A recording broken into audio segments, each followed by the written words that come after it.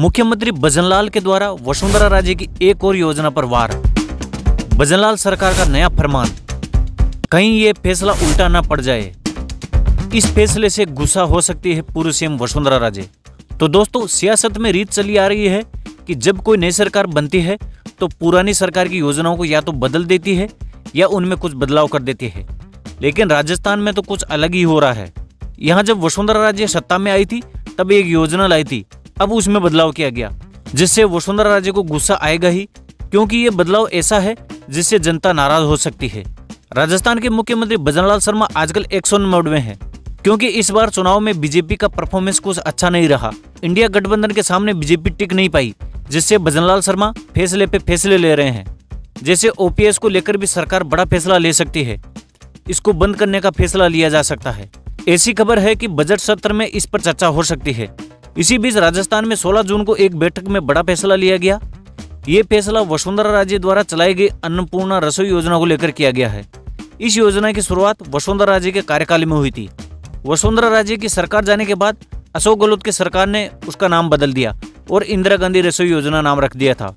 लेकिन साल 2023 के चुनाव में बीजेपी को एक बार फिर बहुमत मिला तो इस योजना का नाम बदलकर अन्नपूर्णा रसोई योजना कर दिया गया। यहाँ तक कि सरकार ने इस साल जनवरी में भोजन की थाली में खाने में सुधार करने के निर्देश दिए थे। यहाँ तक कि खाने की कुछ मात्रा भी बढ़ाई थी, लेकिन अब ये कहा जा रहा है कि एक व्यक्ति को एक बार ही खाना मिलेगा।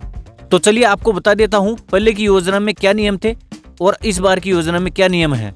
अन्नपूर्णा रसोई योजना के अंतर्गत थाली में 300 ग्राम चपाती 100 ग्राम दाल 100 ग्राम मिलेट्स, खिचड़ी और आचार परोसा जाता है, जिसके लिए लोगों से आठ रुपए लिए जाते हैं। वही योजना पर सरकार की तरफ़ से बाईस रुपए का अनुदान दिया जाता है। राजस्थान की स्वायत्त शासन विभाग ने इस योजना को लेकर नया आदेश जारी कर दिया है। आदेश में लिखा है, पहले लाभार्थी की ज़रूरत के हिसाब से दो कूपन राशि प्राप्त कर दो थाली, एक प्लस एक भोजन दिए जाने का प्रावधान था। हालाँकि योजना में संशोधन कर भोजन की मात्रा में बढ़ोतरी करके थाली का वज़न 600 ग्राम कर दिया गया। ऐसे में अब लाभार्थी को एक समय में भोजन के लिए एक ही कूपन दिया जा सकेगा। मतलब पहले की तरह एक लोग दो कूपन लेकर दो थाली नहीं ले सकेंगे। इस फैसले के बाद ये कहा जा रहा है कि इससे जनता पर भी असर पड़ेगा। इसके साथ ही वसुंधरा राजे भी इस पर अपनी प्रतिक्रिया दे सकती है, क्योंकि ये योजना वसुंधरा राजे के कार्यकाल में शुरू हुई थी। जब इस योजना की शुरुआत हुई थी तो वसुंधरा राजे लोगों के साथ खाना खाते हुए भी दिखाई दी थी, और खाना खिलाते हुए की तस्वीर भी सोशल मीडिया पर वायरल हो रही थी।